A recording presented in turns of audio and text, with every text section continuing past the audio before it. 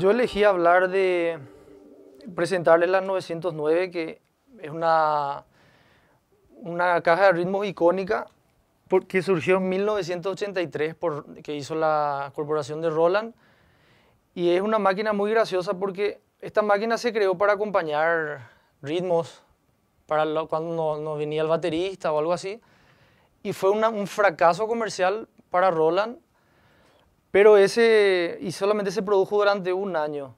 Para ser de 1983 es del futuro. Y esta es una batería que genera sonido de la electricidad con todas estas funciones.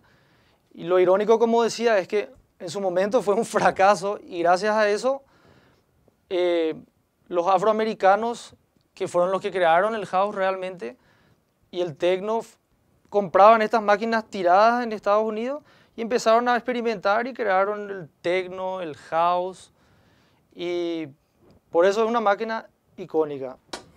Y otra cosa que esta máquina tiene es todos los sonidos, excepto los platos y los cimbales, son generados por la electricidad, digamos, en tiempo real, que es analógico, y los platos fueron sampleados de baterías. Estos platos y los cimbales.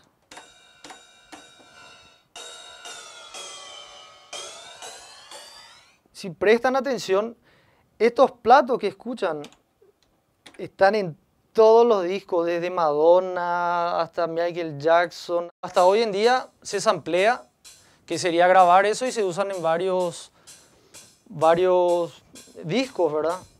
Y son uno de los platos más utilizados hasta hoy en, en la historia, aunque no crean. Esto no es solo para ritmos. Con este cable MIDI, por ejemplo, uno puede conectar la salida de aquí, conecta un teclado o un sintetizador en esa época fue una de las primeras máquinas que tenía un groove, por así decir.